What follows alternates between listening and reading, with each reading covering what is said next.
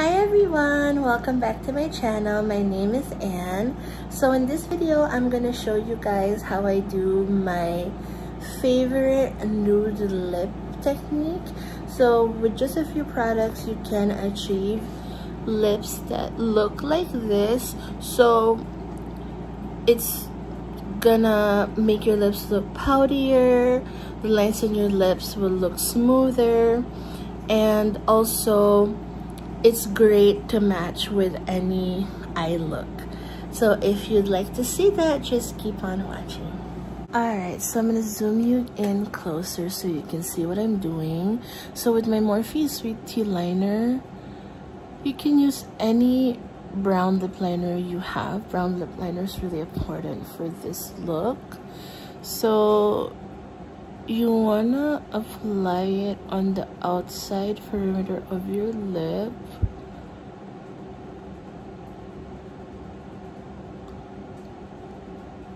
Really really close to your natural lip line.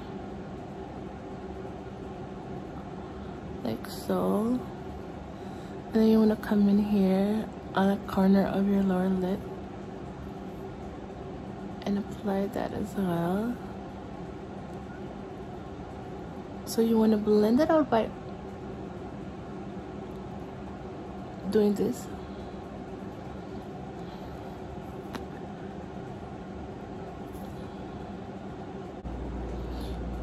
So you want to make sure it's nice and even on both sides. You can actually smile and check how your lips look when you smile. I do this all the time because you know your lips actually change the way it looks when you smile.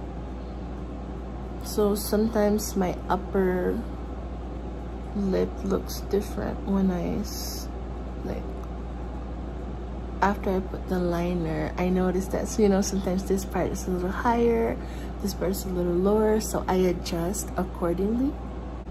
So once you're happy with the liner and it's blended nicely I'm gonna top it with a lip cushion tint. This is from Peripera.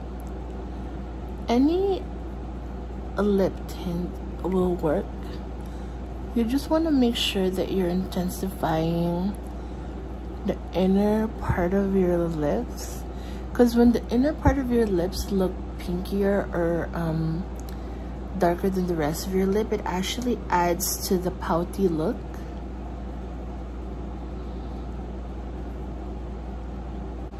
So if you have a deeper complexion, you can use a deeper color, like a berry. So to marry the lip tint and the lip liner, I'm gonna use a lighter, kind of like a skin tone, my skin tone color, but a little warmer.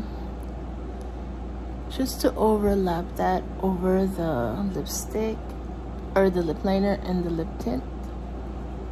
Like so. This is the KKW 1.5 what I do to blend things easier is I can you can just use your finger and you can just like massage in between the lipstick and the liner.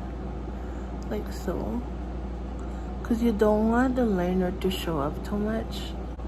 So you want to top this off with a gloss I'm gonna use the Revlon Super Lustrous Lip Gloss in the shade Supernatural. This is one of my favorite lip glosses. So what I like doing is I like putting this on the back of my hand.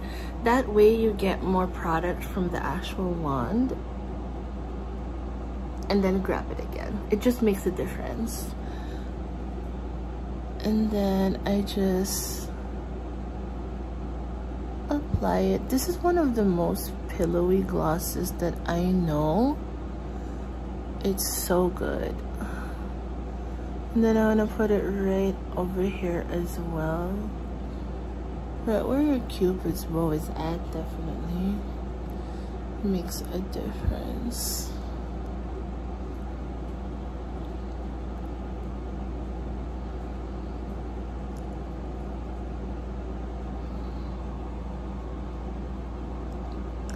So if you want to be extra, you can add a lighter gloss in the center. So this is optional. Because if you do have light, more light in the center, it also gives for a more powderier look. So I'm going to use the Morphe Icy Lips in the shade Boss Tycoon. Any champagne lip gloss will work. So I'm just gonna tap it right here in the center. Just on the lower lip like so.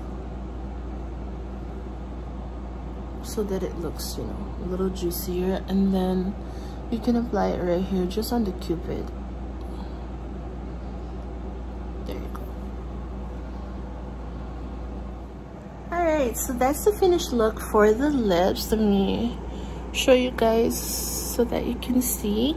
I did pair it with a glass skin and this fox eye look. If you would like to see the complexion as well as the eye, I'm gonna post them in a separate video so you guys can see them. If you have any questions, suggestions, comment, make sure you like the video, comment below, let me know what you think. Um, thank you so much for watching. I really appreciate all of you. And I'll see you guys on the next video. Bye!